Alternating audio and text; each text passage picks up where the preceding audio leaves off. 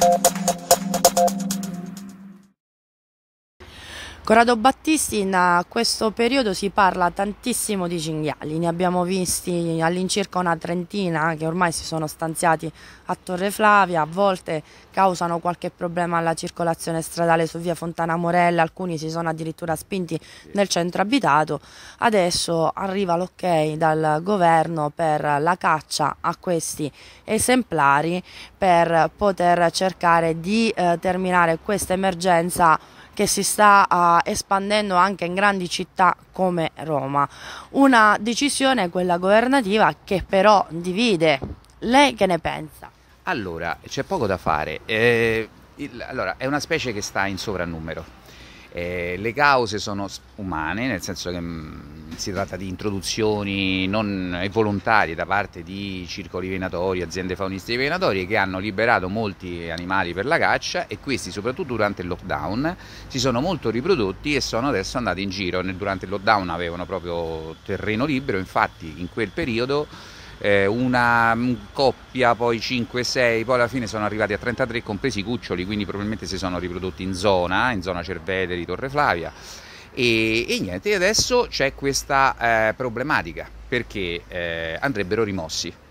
Questo sia perché, come diceva giustamente lei, il, alcune eh, problematiche ci stanno col traffico, con, anche con, con le persone, perché sono animali insomma belli grossi, anche che non attaccano direttamente, che però, però possono spaventare. E soprattutto per la biodiversità perché in palude loro eh, da noi a Torre Flavia devastano il canneto e, e, comunque impattano sugli nidi degli uccelli soprattutto in primavera. Quindi vanno rimossi. Come rimuoverli? Eh, ci stanno tante tecniche. Allora, eh, una è quella della caccia diretta, persecuzione diretta e questo controllo però eh, deve essere diciamo, norma, autorizzato dalla regione, prima deve essere fatto un piano di controllo, devono essere abbattuti solamente alcuni esemplari perché se si abbattono esemplari che potrebbero poi dare il via ad altre riproduzioni, è un argomento un po' complesso, ci richiede tempo per spiegarlo, ma comunque vanno utilizzati seri controllori che abbattono solo alcuni individui.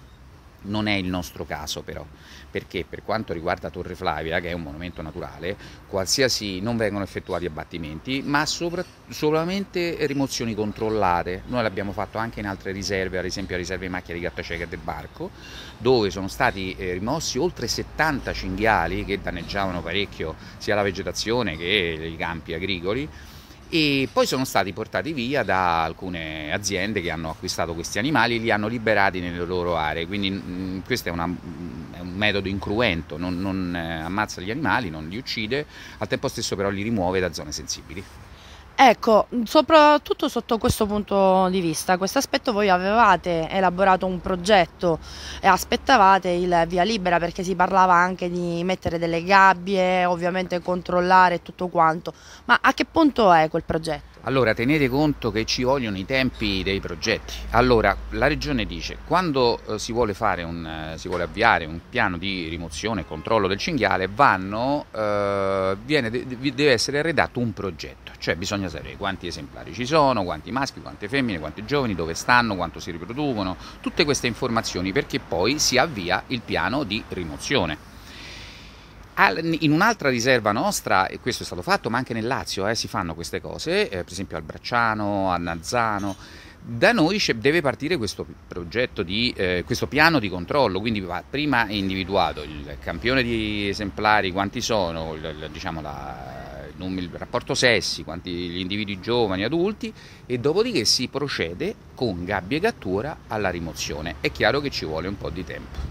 Purtroppo sono processi lunghi perché esistono le norme, esistono le leggi, non si può procedere andando lì e rimuovendoli con atti di bracconaggio. Si Quindi si potrebbe parlare di un'altra estate tra cinghiali, fratini e corrieri piccoli? Probabilmente sì, probabilmente sì, c'è poco da fare.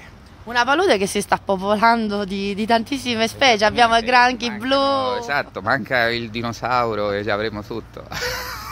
Ecco, invece qualche consiglio per i frequentatori della palude, visti i così tanti esemplari dal fratino, sappiamo non vanno calpestati i nidi, non bisogna avvicinarli. Eh, per quanto riguarda invece i granchi blu, magari molti hanno paura perché sono un po' più grandi, quindi magari ti afferrano, ti potrebbero anche fare del male. Il cinghiale poi non ne parliamo. Esattamente, allora eh, ci sono queste tre cose da sapere. Chi viene a Torre Flavia non deve andare sulle dune, perché sulle dune a parte ci stanno i gigli, la, le, le, piante del, della duna e poi ci sono i nidi del fratino. Lì non bisogna scavalcare le staccionate né i recinti che stanno davanti alla torre. Non bisogna venire col cane, purtroppo non si può venire col cane. Il cane è un animale che anche il cuccioletto, il barboncino, l'animale di casa, per l'animale che sta covando rappresenta un pericolo e siccome abbiamo solo 10 coppie nel Lazio di questi fratini, eh, sta in via d'estinzione, quindi è importante anche il fratino oltre che il cane. E terza cosa, eh, tra l'altro no, per i canari stiamo pensando, a tutti gli, i padroni dei cani, di dare dei gadget. Tutti coloro che hanno un cane, se vengono alla casetta, mi un, mandano un messaggino o vengono da noi, eh, ricevono dei gadget, perché a noi dispiace, in fondo chi viene col cane è una bravissima persona che ama la natura e quindi eh, su questo stiamo lavorando. Seconda cosa, i granchi. Allora, se trovate dei granchi blu, ovviamente eh, non ve lo devo nemmeno dire, sono talmente grossi che non, certo non li, li, afferrate. Qualche bambino potrebbe essere incuriosito nel catturarli, attenzione perché fanno un po' male, però non è nemmeno il caso di dare panico. E terza cosa, i cinghiali. Le ore, allora, i cinghiali non attaccano direttamente, attacca la scrofa che, ha i, i cuccioletti vicino, ma non è il nostro caso. Comunque, vedersi un cinghiale a 2-3 metri spaventa e soprattutto la, la, in macchina può attraversare di colpo e impattare sull'auto. Quindi mattina all'alba e al tramonto questi animali si muovono di più, quindi evitate di frequentare la palude di Torre Flavia all'alba e al tramonto e evitate di percorrere via Roma e via Fontana Morella a velocità elevata perché loro spesso si buttano sulla strada e questo può creare problemi.